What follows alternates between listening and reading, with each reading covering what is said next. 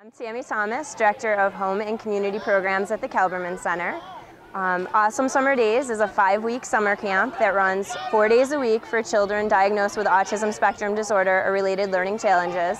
We do a lot of fun activities over the course of the summer. Um, we spend one day a week at Camp Ronald McDonald where the kids go horseback riding, swimming, um, we have sports in the bounce house um, and we go for hikes.